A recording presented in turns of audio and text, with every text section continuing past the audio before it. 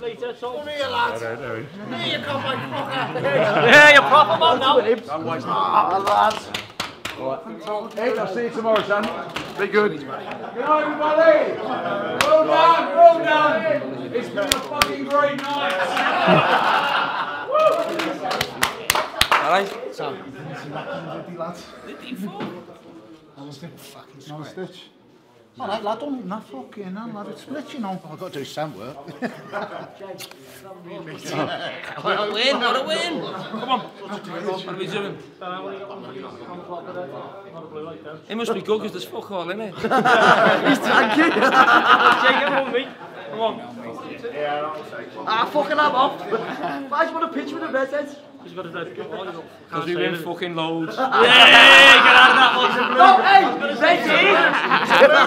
The one I look to. He's the clever one in the family. The only one, but he's the clever one. Come here, lads. No, hey, you're the star, Come man. here, lads. Come on.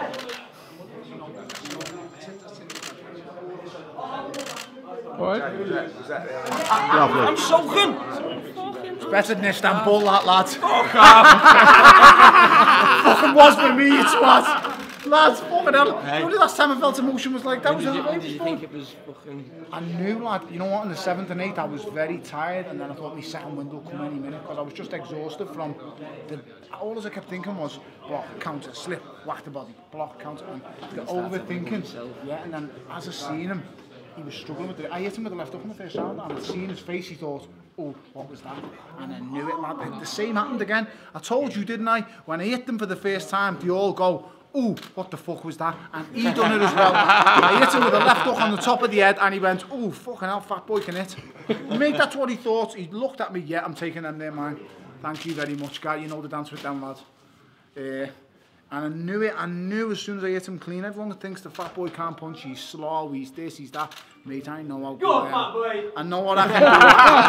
you know what? Before I come here tonight, I looked in the mirror and I thought, I don't look too bad. And I put the logo on it. Have you seen the one of David Brent? You should have The kicks were not high enough.